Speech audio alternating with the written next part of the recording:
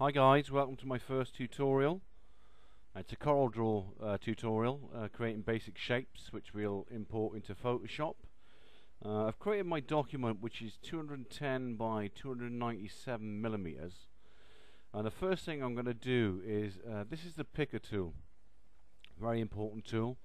I'm going to drag a guideline at the center of the page. It doesn't have to be perfect because we press the P button on the keyboard and it centers it next thing we do is we go down to the rectangle tool there click on it left mouse button and then to uh, refine it or drag it to a perfect square we press control. And I'll come outside the box here. There we go. And you're thinking oh my word it's not central. Once again press the P button centers it. Now to go back to the pick tool press uh, spacebar. And there we go. We're back into the pick tool oops I've gone off center never mind. I'll P to it. There we go. Now I want to round the edges off and there's a great little tool for this. It's called the shape tool. So if we click on the shape tool this little one up here and then we can drag left click again drag the sliders in and out. So we'll go with that one there. Yeah I'm happy with that. So once again go to space and we're back into the uh, pick tool right I'm gonna add perspective. Now I, I use so many programs I, I, I can't do shortcuts. I could do but I get so confused. So I like to do it the easy way. Go up to effects perspective. Now to restrain the perspective uh, equally, if you press Control and Shift, as you can see, grab a node and just drag it in. Yeah, that's great. Pick tool again, and then we have our shape. Drag it about, do what we like with it, uh, press P, centers it. Now I want to do a copy of that for um, the lid. We'll call it a cologne. We'll do a cologne bottle. So there's two ways of doing this. We can either copy and paste it, which is, I'll, I'll, show you if you like. It's uh, right click, copy, and then this little box here for paste. And there we have it. We'll delete that, press the delete on the keyboard. Or basically, we select it again and press the plus button on the keyboard. There we go. Another perfect copy. We'll just drag the little handle down to make it smaller so it looks like a lid.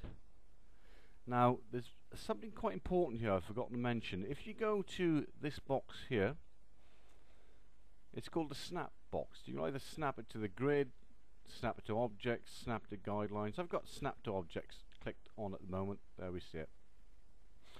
Anyway, we want to have a little neck in there because most of them have necks, don't they? So we'll go again to this little rectangle tool and I'm going to zoom in using my, my mouse wheel on that area there. So there we go. And we'll just create a little little box like that. That'll be our, our neck. Go to the pick tool and we'll just drag that in fact we'll drag it centrally down to there and we want to merge those two objects together. So on the right here I've got my shape tool. Now the shape tool, I've got a number of applications here. If you go up to Windows, Dockers, which is the one just underneath the color palette, you'll see them highlighted uh, down the right here. Sorry, Dockers. Um, oops, a daisy. And then we have my shape tool. Now I'm going to weld that to that. So underneath this little uh, sub menu, you've got all the different things. I'm on weld, as you can see. And I'm going to weld it to this object here. So press weld, click on there, and there we go. And I'll zoom back out using my mouse wheel. And there we can see it's nice and welded. Now I'm going to join that onto that bottle there. So once again, select it using the pick tool. There. There we go. And then just just gently bring it down till it snaps into place. There we go. Now, if I want to, I need to group these objects to export them. And basically, there's two ways of doing it. You either double click on the pick tool like that, and that selects them all. I'll come out of there, left click outside the box. Or you drag, holding left mouse key down, and that groups them all. and then up the top there we've got a little box there which is called grouping. We click on it group and they're all grouped together. There we go.